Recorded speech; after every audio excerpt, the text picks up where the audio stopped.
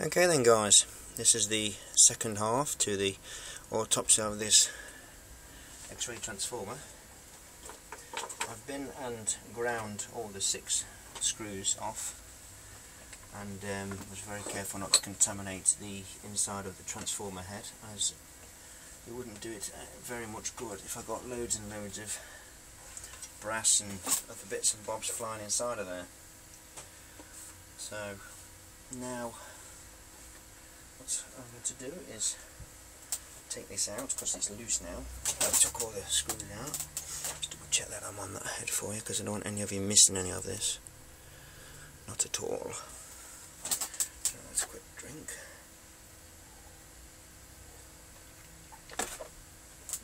Okay.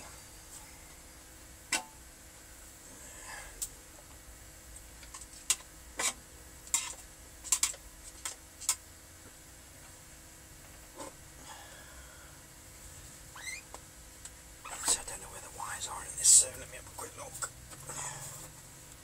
Some wires go around the back there.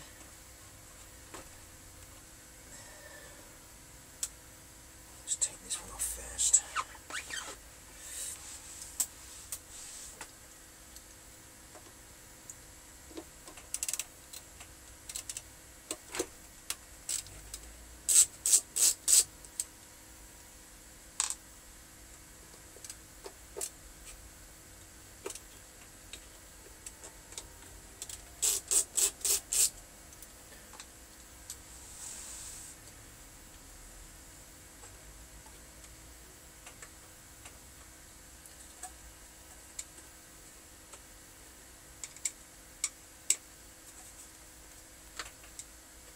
Take a better screwdriver. Where's that other one? There it is.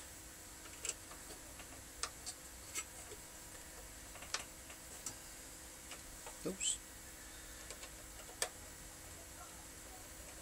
I need to hurry up and get this head back into oil because at the end of the day with the these outputs I still cannot find anywhere where it says what the output is of this transformer.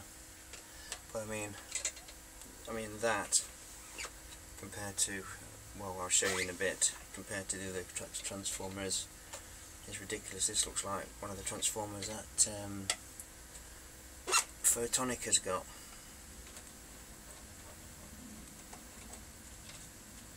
Inside, um, you know, the them big transformers it's got with the big standoffs, porcelain standoffs. It looks like one of those. Oh, you back it, you have to be different, don't you?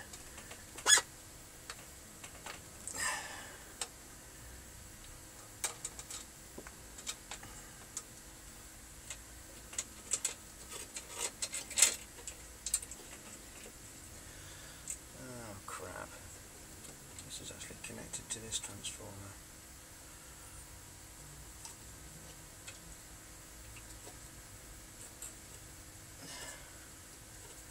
Might have to leave that on there for now until I can 100% see that's an output. That's an output, so these are both connected to that one. Very thin that is. Stick that back on there.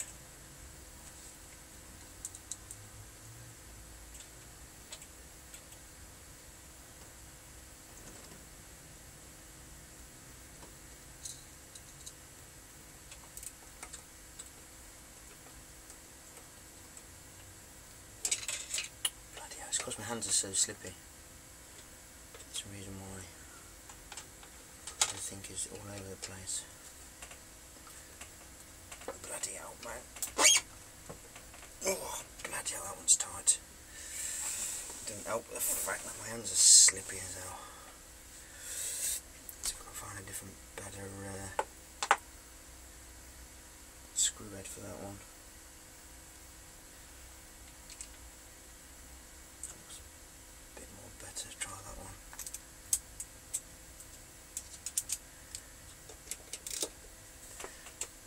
There we go, you see.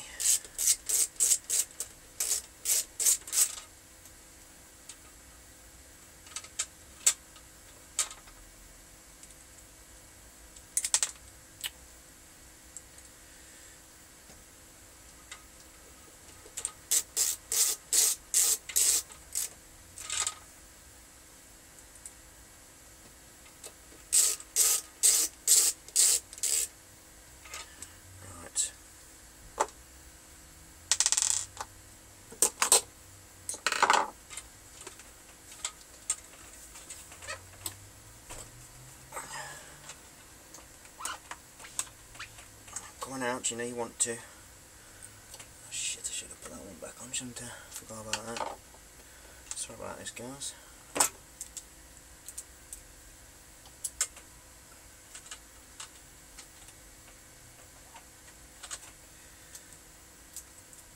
because I'm trying to hurry up and get this ready so that you lot are not, you guys are not going to be bored bloody watching me.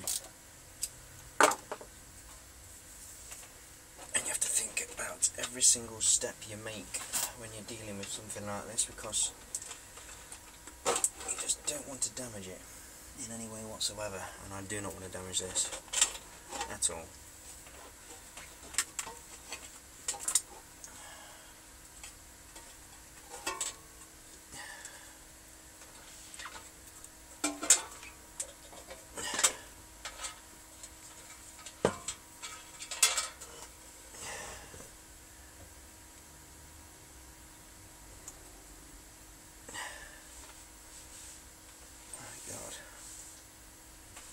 huge. There's the so that's the filament side, which is the same as the other ones. Nice big thick piece of lead. Can you see that? Yes, you can. Awesome. And here is the output for the X-ray tube.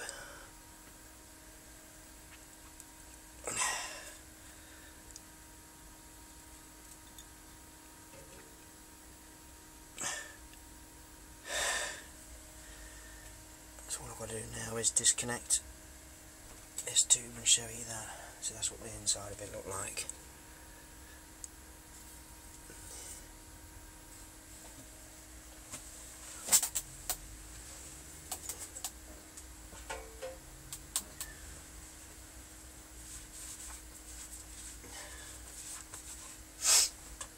Oh dear. Okay, so this is the filament output, so I can snip these wires off here because I already know what they're like because I've had quite a few before. So now how to do this.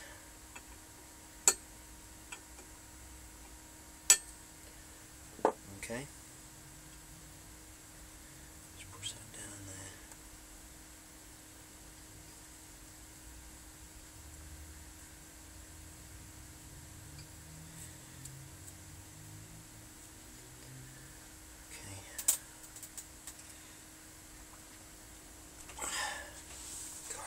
touch.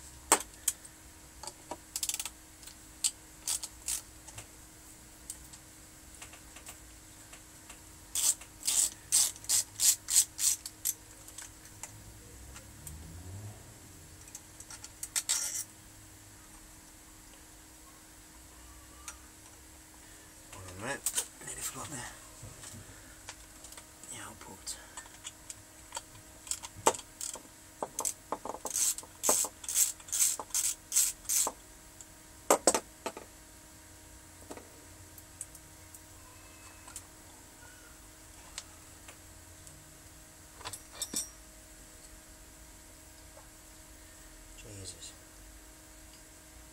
See what I mean about how well these things are inside? Because um, this, they're so well held in place that there's just no no way really of damaging it with what I've done, what with what I've done. But um, it would take quite a bit of G-force to uh, actually damage one of these. You have to really, really hit it hard. Excuse my next door neighbour, she's a bit loud. But look at the thickness this. This is about 2 mil thick this lead is. Around the um, X-ray tube.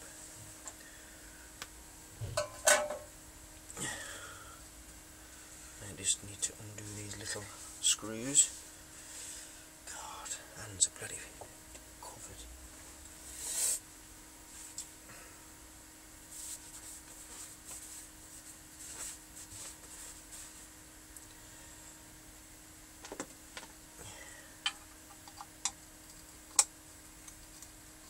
think these are going to undo because they're bloody stuck on there. They've been glued so I'm going to have to force them the old fashioned way unfortunately.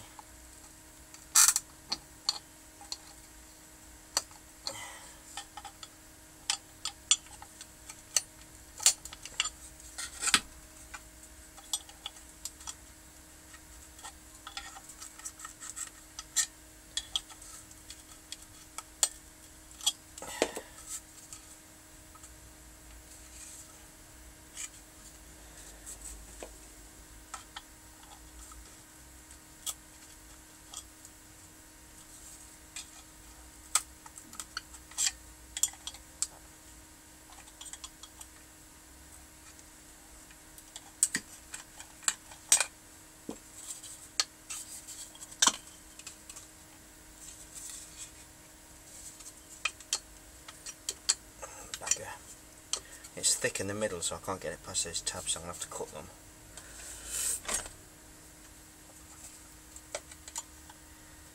Be so careful because I do not want to damage that tube. Um,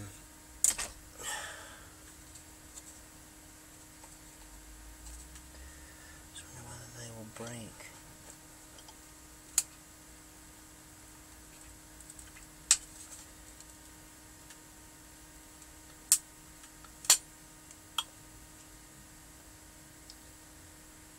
They'll undo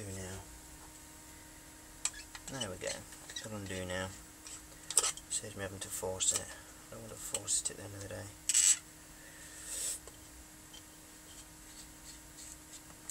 I don't know what they're made of. Some strange. I'm not sure what they're made of at all.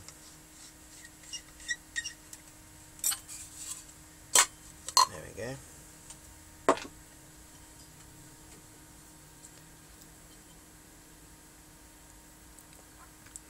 Isn't that lovely?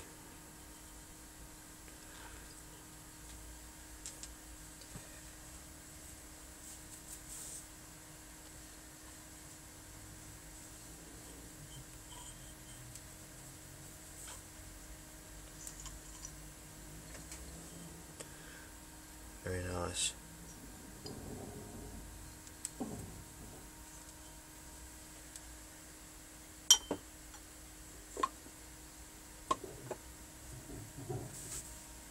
Put that somewhere where it won't get knocked. Next to me other one. so now then, back to the other good thing.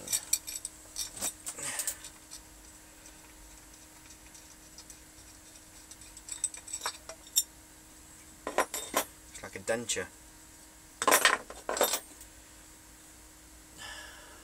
That is just huge. My god.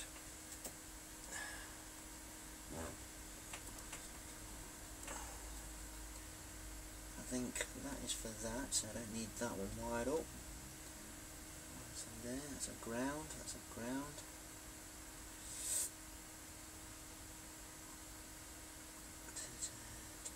That's that.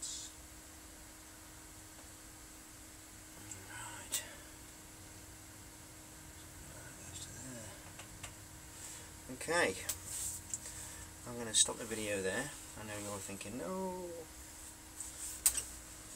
And um, I'll update you as soon as I've wired it up because I'm going to have to get this in oil into a proper container and uh, wire it up properly and then I'll get back to you. So keep keep your eyes out guys and thanks for watching.